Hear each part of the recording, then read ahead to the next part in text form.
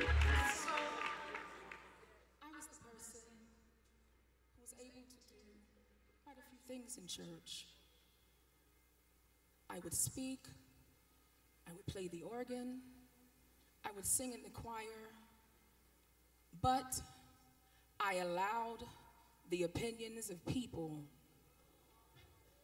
to weigh heavily and become how I felt about myself.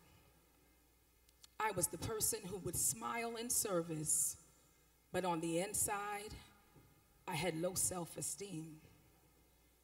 The negative feelings and the criticism of others, it led me to sadness, depression, anxiety, anger, shame, and guilt. Oh, yeah. I then became the person who not only had a fear of failure, but a fear of success, the fear of trying. I doubted now my abilities, I doubted my worth, and I avoided challenges. I had a fear of judgment. I avoided activities that involved other people and social events at church.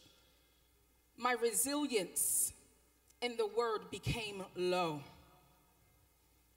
But I remembered a prayer prayed by Bishop Mason, who said, I cast the devil out of my mind. And I began to get my prayer life back. I began to rebuke the thoughts of negativity. I began to rebuke the thoughts of low self esteem.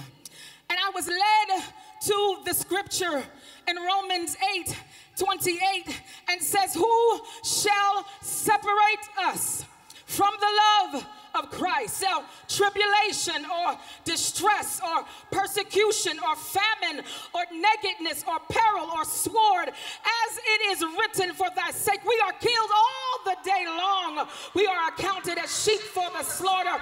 Nay, in all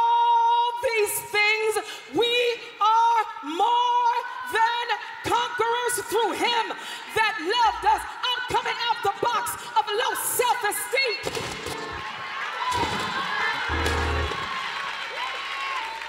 For I am persuaded that neither death, nor life, nor angels, nor principalities, nor powers, nor present, nor things to come, nor height, nor depth shall be able to separate me from Low self esteem, it's over. I'm coming out the box.